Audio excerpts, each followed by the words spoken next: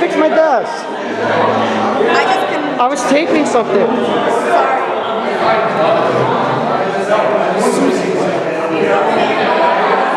What?